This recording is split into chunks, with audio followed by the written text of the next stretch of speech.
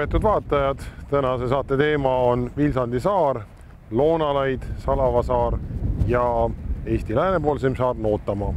head vaatamist. me oleme praegu Vilsandi saarel, mida võiks öelda Vilsandi saare kohta üldiselt, mis on siin kõige tähtsamad asjad? No kõigepealt tegemist on saarega. Ja tõenäoliselt tullutav, et kui Saaremaa on mandri-eestlase jaoks juba saar ja meretagune asi, siis Vilsandi on ka saarlase jaoks juba meretagune asi. ja ta on üks Eesti väikesaartest, mis on asustatud. Ja ega ma ei oska öelda nüüd, palju siin inimesi talvel on, rahval on see andmetest äkki võib vaadata. Ja palju siis suvel on, suvel märksa rohkem, kuna nagu kuulsime siia tulles, et enamus vanu talukohti on tegelikult ju elamiskõlblikud võib-olla mõni sõna saare nimest. noh, Vilsandi ei viita eesti keelele, kohanime sõnastik ütleb, et vana-rootsi keelest ja pakub välja, et see on levinud variant, et Helseland, noh, kaljujääne maa, et see on vist rahvaetümoloogia, kuna esimesed kirjapildid on Vilsand ja siis hiljem sada, noh, enam kui sada aastat hiljem Kross ja Klaine Vilsand. Nad on algselt ilmselt kahe saare, suurema ja väiksema, Klaine pool on suurem, väiksem ida pool, maakerkega nad ühinesid ja siis pakub äh, võimalikeks variandiks äh, kohanime sõnastik, et see võib olla siis ka nii-öelda siis äh, eraldiseisev maatükk, Fjälleland kääneda siis rootsi keelest või siis ka sõnast hüll, mis viitab Varsale, et võib-olla on ka mingid rannakarjamaad siin. nii et selliseid päritolusid pakub välja. nüüd saare geoloogiast, mis on huvitav. me oleme Saaremaal paljanduvad nagu ka ütleme, et selles vööndis, mis jääb ütleme, et Lihulast, Virtsust eh, kuni Põltsamaani Siluri ajastu kivimid. Ja me olemegi Siluri ajastu kivimite peal, seega on tegelikult ongi kaljusaared, väga sageli endised korallid, üks suur korallrahu, korallivöö, korallide vöönd, mis hakkab Ojamaa või Gotlandi saarest kuni enam-vähem Põltsamaani välja, see kaotab kolmsada kilomeetrit. aga need korallid elasid üle neljasaja miljoni aasta tagasi Siluri aegkonnas, kui laamtektoonika teooria järgi oli meie maakoore tükk ekvaatori piirkonnas, seega oligi soojades vetes. ja tegemist ju paekiviga, siis siin näeme ka nagu Saaremaa endal karstialasid. ja siin on just Eesti jaoks haruldane, ta muidu Rapla juures, eks Paka karstialal on ka avatud karst see tähendab seda, kus ei ole mitte koobaste, kurisuude allikatega tegemist, vaid see paekivi ongi osaliselt lahustunud selliseks säbruliseks maapinnaks. ja siin Vilsandis, kui ta ei ole siin taimestikuga kaetud, ongi kõige ilusam selline karstjala väli. teine, mida võib muidugi öelda, on siinne kliima kui Roomassaares on ilmajääsuses kõige rohkem päikesepaistet mõõdetud, siis ka Vilsandi on väga päikesepaisteline, igaüks, kes võtab Eesti kliimakaardid, päikesepaiste kestvus noh, ületab tükk maad seda, mida me Mandri-Eestis tavaliselt näeme. selle võrra on siin ka sademeid vähe. kõik on mere kohal, tekib pilvi vähem, sademeid vähem, vähem ilmateadet ja nagu öeldud, kivine maapind. siis on siin ka noh, põuakartlik see asi ja see omakorda kokku lööb ühest veidike vaesema elutingimused, aga aluselisel maapinnal õhukese mullakihiga ja noh, botaanikute jaoks on ta muidugi väga meelsed alad, kus nad leiavad paljusid äh, Eesti jaoks haruldasi taimi, muidugi mõista, kui need rannaniidud ei ole nüüd ilma kadakaid täis kasvanud. aga mina jätaksin praegu selle kõrvale, jah, sellest räägivad botaanikud, aga see klimaatiline aluspõhjaline tingimused loovad selle koosluse.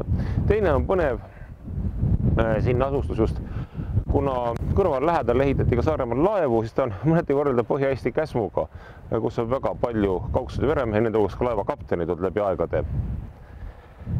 Ja me teame ka, et Vilsandi tuletorni kunagine ülem Artur Toom, tema ettepanekul rajati ka Vaika linnukaitseala tuhat üheksasada kümme, kui Riia Loodusuurijate Selts selle rendile võttis tema vahendusel kihelkonna kirikumõisalt noh, lähedane sadam Papisaare viitab ju ka vaimulike maadele, sellele Kihelkonna kirikumõis ja iseenesest tuletan meelde, keskajal olid need Ordu, mitte Saare läänepiiskopkonna alad.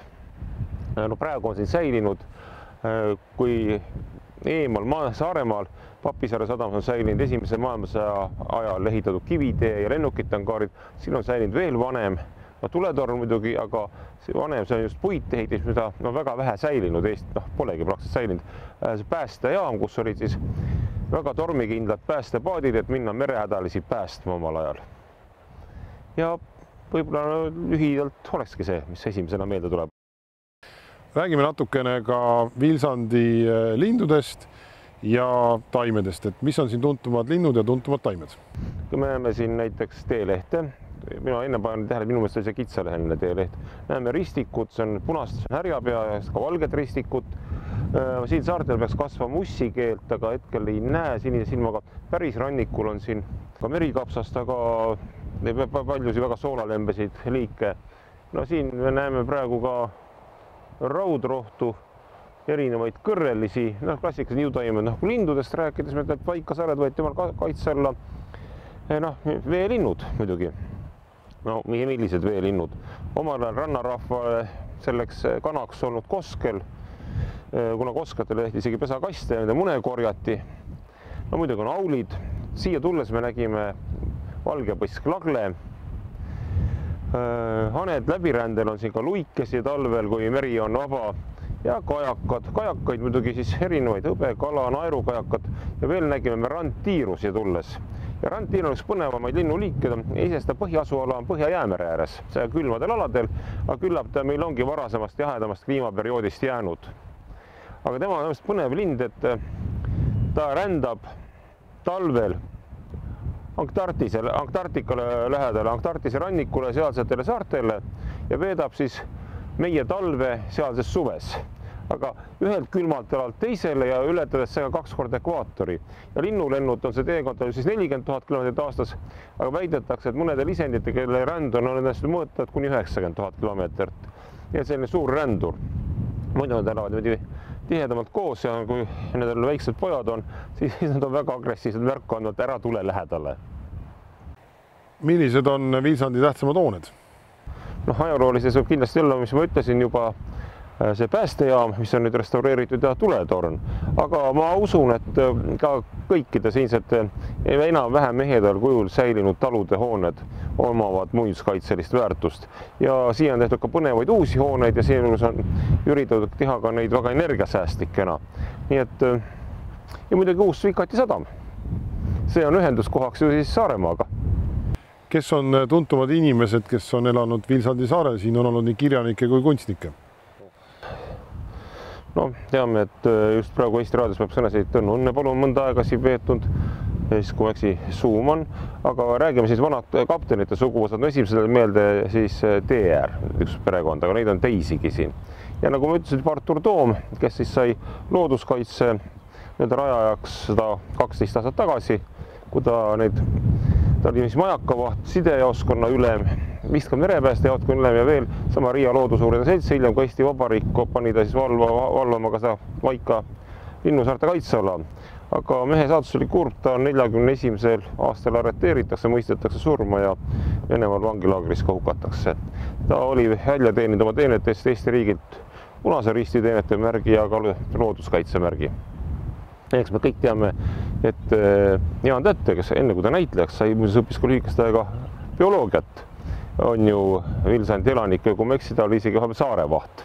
kui seda vahtide ametit kadunud on, järvevahid kadunud, metsavahid kadunud, ka majakavahid kadumas, siis nende saarevaht on meil lausa väikesaarte seaduses sisse kirjutatud. ja muidugi ei saa jätta mainimata siin ka kunagi kihelkonna need mudaravil kosutanud ja suvitanud Konrad Mäge, kes siis nii Kihelkonna kanti kui ka Vilsandist tegi maale, mida öeldakse, et esimesed modernistlikud loodusmaalid Eestis oleme jõudnud siis Notamaa juurde. Notamaale minna ei tohi, aga näha kaugelt me seda saame. Ootel, räägi, mis siin saarel on ja mis siin, mille poolest ta on eriline? no kõige tähtsam on see, et on Eesti läänepoolseim äh, punkt, mitte maismaalt, Ramsine me teame, on mandri läänepoolse punkt, aga noh, aga ka Ramsi on kunagi olnud ju saar, Noa-Rootsi saar. no põhjapoolsem, nagu teame, on Vaindloo ida pool meil tegelikult ei ole piirist seal ida pool, ida pool on hoopis Narva linn ja Narva sild. ja võrdluseks võiks välja tuua siis selle, et Narva linna ja Nuutamaa saare geograafiliste pikkuste vahe on kuus kraadi, kakskümmend viis minutit ja nelikümmend seitse sekundit. ja teame seda, et näiteks üks kraad täheajas, tähe, täheööpäev on neli minutit lühem kui noh, päikeseööpäev miks see lühendus tekib, on see, et maakera nii pöörleb kui ka liigub edasi orbiidil ja siis ülemise kulminatsiooni vahe on päikesel lihtsalt või alumise kulminatsiooni vahe neli minutit suurem kui kinnistähtedel. ja neli, üks kraad on neli minutit vahet, üks eh, minut on neli sekundit vahet, nii tuleb välja, et siis Tähe ööpäevas on Nootama ja Narva aegade vahe kakskümmend viis minutit ja umbes nelikümmend kolm sekundit. mis on päris ligi praktiliselt pool tundi on järgult Eestis siis kohalik täheaeg idapoolsema, läänepoolsema punkti vahel. Tallinnaga on see vahe üksteist minutit ja viiskümmend viis sekundit. noh, nii kohanimi Nootama tuleb esimest korda kaheksateist sajandil no, Nootava nime all, aga noh, Ev ja M on ka varem kirjapildis kohti vahetanud. noh, see viitab ikka selgelt püügiriistale, kuigi me oleme ju ka päris kaugel, ega ma ei teagi, kuidas siis kaheksateist sajand ja tollal neid püügiriistu siia toimetati. suhteliselt avameri ja ka kõrglaine, mida me siia sõites tajusime. Kui Vaikasaared, mis on oma kohanime ilmselt saanud hoopis sõnast vaigas, käendub, jah, käendub samamoodi nagu sõna kaigas, aga viitab võib-olla ka sõnale vaga või rahulik, kuulusid Kihelkonna kiriku mõisale, siis see saar kuulus Loone mõisale. Loone mõisas me teame, on praegu Riigi Metsamajandamise Keskuse üks teabekeskus ja infopunkte. ja see tuli, omal ajal muidugi oli tuntum Kuusnõmme ja Kuusnõmme siin noh, ligi nelikümmend aastat tagasi põles ära, kus oli siis ju kahekümnendate alguses Tartu Ülikooli bioloogiajaam.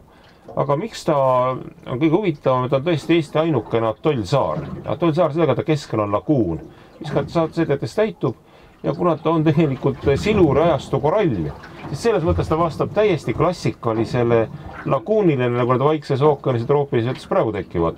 nüüd jälle küsimus, kuidas on siis korallid meie maal, aga on siis umbes nelisada miljonit ja natuke rohkem aastat tagasi me asusimegi ekvaatori kohal, kui laamtektoonika järgi võtta. ja atollide tekke kohta on Darwinil põnev teooria. iseenesest siin ei mängi seda päris hästi välja seletada, kuna siin ei ole purske kivimeid tarkkivimeid. aga Darwini teooria, mida enam-vähem tunnustatakse siiamaani, on see, et tekkinud vulkaanid, mille ümber on hakanud kasvama korallid ringis.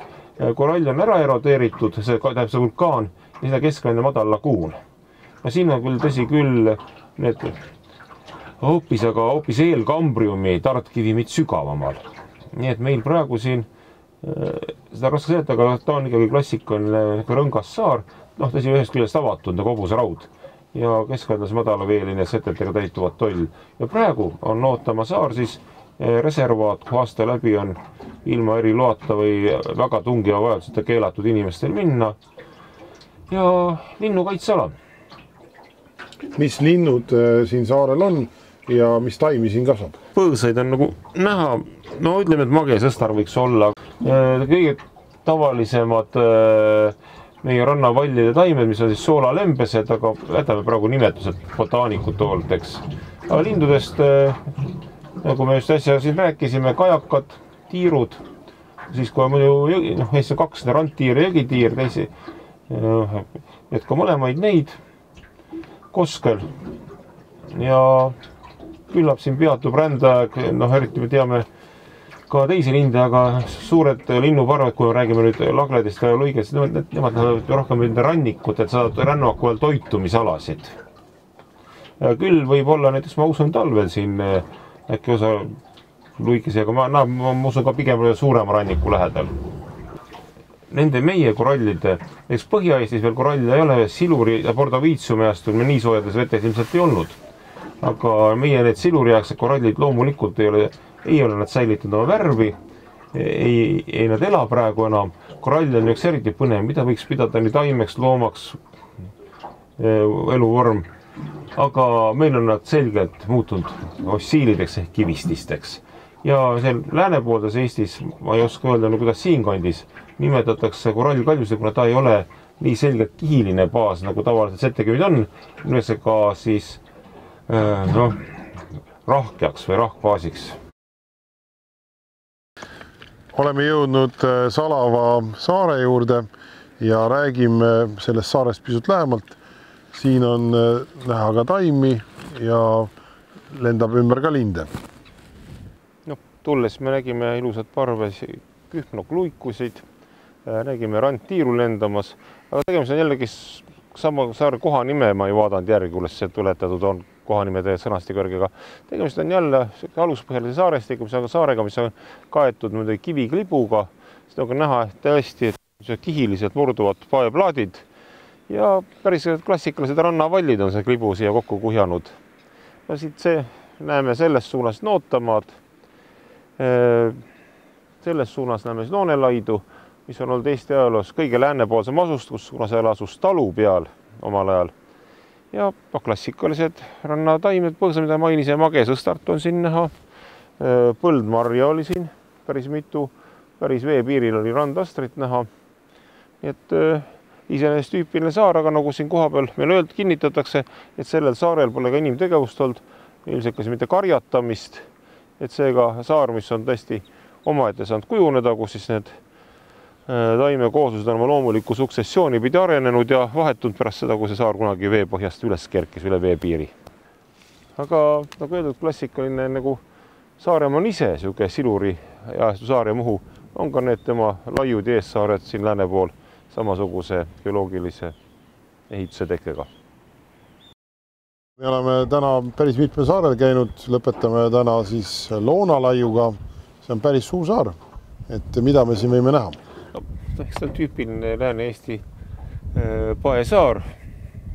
ma seda ma juba ennem eelmisel saarel mainisin, et see on lihtsalt sellepärast tähelepanuväärne, et siin on meridiaani järgi kõige läänepoolsem Eesti alaline elukoht, otse-ka asustatud asustuspunkt, noh praegu seda alalist elukohta siin muidugi ei ole ja ei ole ka seda vana taluhoonet säilinud, aga küll me võiksime siin rannikul mõelda ühele asjale, et miks seda talukohta ei rajatud noh, väga lähedale tolleaegsele kaldale. enam-vähem peeti kinni sellest, mis tänapäeval on ehituskeeluvöönd. aga me peaks kunagi võtma seda keeluvööndina, vaid inimese kinnisvara kaitsevööndina mererannikul toimuvad väga kummalised protsessid, muidu suurte järvede ja jõgede rannikutel ka, mis sageli juhuvad maad ära, sageli on näiteks ka jäätriivid ja tegelikult ma ei räägi sellest, et väga ranniku äärde ehitades on inimesel majas lihtsalt tuuline ja külm, eriti kui me võtame, et kuu üle poole aastast on Eestis ju pime, hämar ja jahe ja tuuline. aga teine, sa võid oma varast ka ilma jääda. ja piisab mõnest sellisest õnnetusest, ma ei tea, mis need kindlustushinnad võiksid olla me oleme täna siin äh, päris mitmel saarel ringi sõitnud, et kuidas siis äh, on tunne, et äh, kas meil merega ja ilmaga täna vedas? no minu arvates täna vedas meil küll.